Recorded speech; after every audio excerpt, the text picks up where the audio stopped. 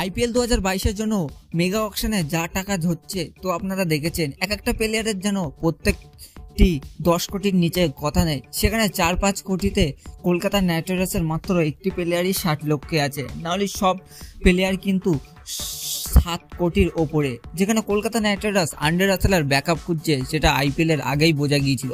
কিন্তু Kolkata Knight Riders Andre রাসেলার backup হিসেবে আজ মেগা অকশনে কাকে নিতে নেবে যেখানে আজ কিন্তু মেগা অকশনের শেষ দিন, আজকেই সমস্ত টিমগুলি তাদের প্লেয়ারকে গুছিয়ে নেবে, যেখানে কম প্রাইস অর্থাৎ সস্তা দামে ভালো প্লেয়ার পাওয়া যাবে। যেখানে কলকাতা নাইট রাইডার্স আন্ডার রাসেলের ব্যাকআপ হিসেবে অবশ্যই চিন্তিত আছে।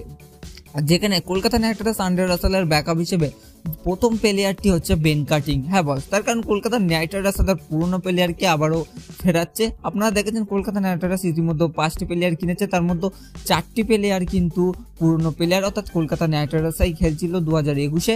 তেমনি বেন কাটিংকেও ফেরাতে চলেছে কলকাতা নাইট রাইডার্স নাই তো ভাই, জিমি নিসাম এইটা সব থেকে পারফেক্ট পারফেক্ট বলতে একদম হান্ড্রেড পার্সেন্ট পারফেক্ট জিমি নিসামের আইপিএল অপশনের দাম, সে যখনই হোক বেশি ওঠে না। কিন্তু এবারে আশা করি বেশি উঠবে না ভাই।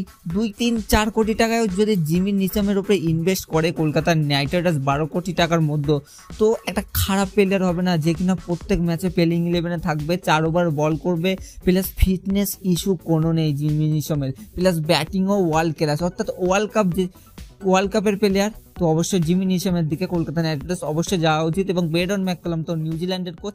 আমি জানি না ওর মাথায় কি